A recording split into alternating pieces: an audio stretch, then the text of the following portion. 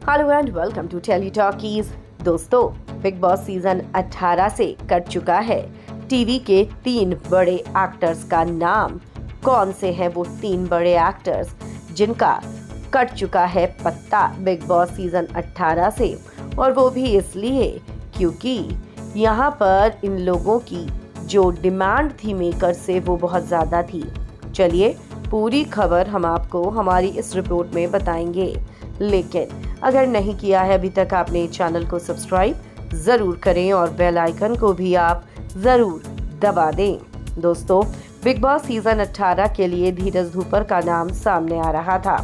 लेकिन ऐसे में हम आपको बता दें कि धीरज धूपर का पत्ता बिग बॉस के घर से हट चुका है। जी हाँ धीरज नहीं आ रहा है बिग बॉस के घर में और उसकी वजह धीरज की ज़्यादा मांग। धीरज काफ़ी ज़्यादा पैसे मांग रहा था मेकर से और ऐसे में उसको शो से हटा दिया गया। तो वहीं जो दूसरा नाम सामने आ रहा है वो भी अपने आप में काफ़ी ज़्यादा चौंकाने वाला नाम है। वेल well, हम आपको बता दें कि जो दूसरा नाम सामने आ रहा है वो है टीवी एक्टर शहजादा धामी का। शहजादा धामी की भी डिमांड्स बहुत ज़्यादा हैं। और खबरों की माने तो शहजादा का भी पत्ता शो से कट चुका है। शहजादा ने मेकर्स के सामने बहुत सारी शर्तें रख दी थी और मेकर्स उन शर्तों को लेने के लिए तैयार नहीं थे। यही वजह है कि शहजादा को मेकर्स ने टाटा गुड बाय कर दिया। तो वहीं जो तीसरा नाम सामने आ रहा है, वो है ऋत्विक धनजानी का। जी हाँ आप सभी को पता होगा कि ऋत्विक का नाम भी शुरू से शो के लिए सामने आ रहा था।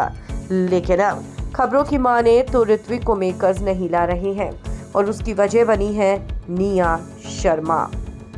जी हाँ मेकर्स नहीं चाहते कि बाहर से कोई भी दोस्त शो के अंदर एंटर हो।